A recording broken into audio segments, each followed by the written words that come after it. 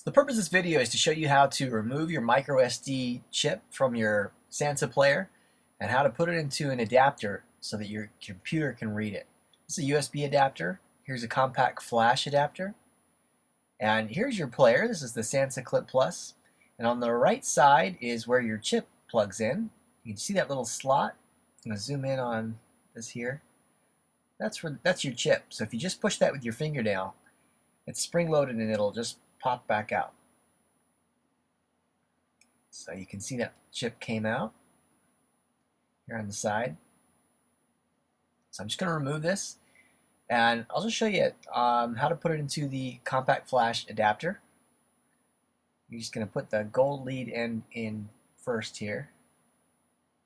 You can see there's a little ridge on the opposite side, so that's the side closest to you.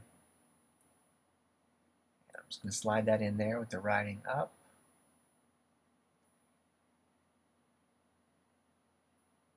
Most modern computers are gonna they're gonna have this this kind of adapter, this compact flash.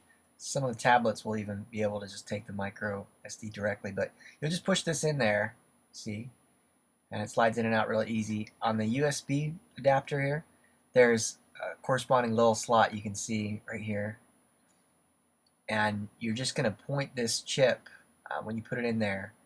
You don't want the writing away from you if you're looking at the top, so I'm just gonna flip that around those gold leads are going to face you. We'll just slide it right into that spot. And just push it so it's snug. It'll fit nice, nice and snug. And you see the writings on the back. And we'll just take this cap off and you'll plug this right into a USB port so you can access the chip.